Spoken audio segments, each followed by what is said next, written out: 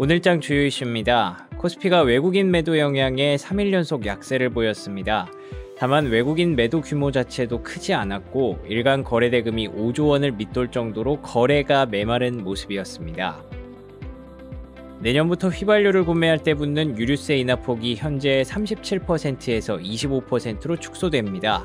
여전히 가격 수준이 높은 경유에 대해서는 역대 최대 폭인 현행 37% 유류세 인하 조치를 유지합니다. 오세훈 서울시장이 정부가 지하철 노약자 무임 수송 손실 비용을 지원해주지 않으면 내년 지하철 요금 인상을 고려할 수밖에 없다고 말했습니다. 오 시장이 지하철 요금 인상 가능성을 공식적으로 언급한 것은 이번이 처음입니다. 채권 시장 안정을 위해 자제되어 왔던 은행채 발행이 신한은행과 우리은행을 시작으로 재개됩니다. 금융위원회 금융감독원 한국은행은 19일 은행권과의 제3차 금융권 자금 흐름 점검 소통회의에서 연말 연초 은행권 자금 조달 및 운용 현황을 점검하고 은행채 발행 재개 계획을 논의했다고 밝혔습니다. LG 에너지 솔루션이 충북 청주 오창 공장에 4조 원을 투입해 4680 원통형 배터리 생산 라인을 신증설합니다. 또 앞으로 5년간 1,800명을 신규 채용할 계획입니다.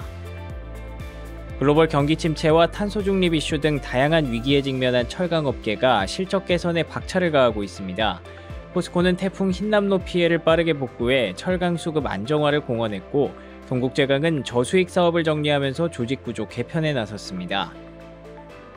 우리나라 첫 달궤도선 다누리가 지난 17일 오전 2시 45분께 진행된 1차 임무궤도 진입 기동을 계획대로 정상 수행했다고 한국항공우주연구원과 과학기술정보통신부가 19일 밝혔습니다.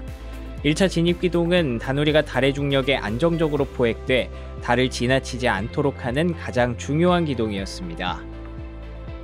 글로벌 박스 오피스 역대 1위에 빛나는 아바타의 속편 아바타 물의 길이 개봉 첫 주말 국내는 물론 북미에서도 박스 오피스 1위를 기록하며 전 세계 극장가를 휩쓸었습니다. 월트 디즈니 컴퍼니 코리아는 지난 14일 한국에서 가장 먼저 개봉한 아바타2가 개봉 첫 주 국내 및 북미 박스 오피스에서 압도적인 1위를 달성했다고 밝혔습니다.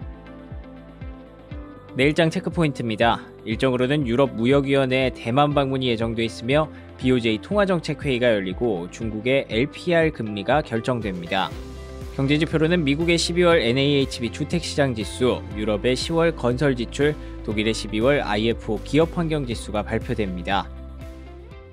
전망과 포인트입니다. 국내 증시는 주말간 약세를 보였던 뉴욕 증시 영향을 받아 하락 출발했습니다. 다만 단기 낙폭과대에 따른 기관의 저가 매수가 유입되며 지난 금요일과 비슷한 모습으로 장중 낙폭을 축소했습니다. 12월 FOMC가 지나간 이후 글로벌 증시는 새로운 국면을 준비하는 과도기에 들어와 있는 것처럼 보입니다. 물가와 금리에 대한 고민이 어느 정도 해소 국면에 진입하면서 실물 경기의 침체 수준과 현재 시장이 그를 얼마만큼 잘 반영하고 있는가에 대한 고민이 본격적으로 펼쳐지고 있습니다. 이에 따라 각 나라별 증시의 decoupling도 비일비재하게 일어나고 있고 업종 내 종목별 수익률도 차별화가 심화되고 있습니다.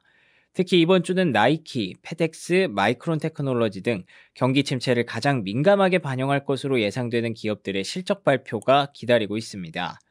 결국 올해 남은 2주 동안 경기에 대한 고민과 해답을 찾는 과정이 지속될 것으로 예상되며 Santa rally에 대한 기대감은 접어두는 것이 좋아 보입니다.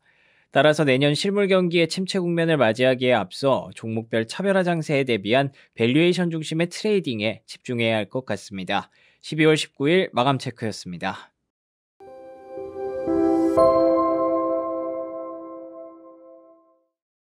한국형 블룸버그 기업을 봅니다.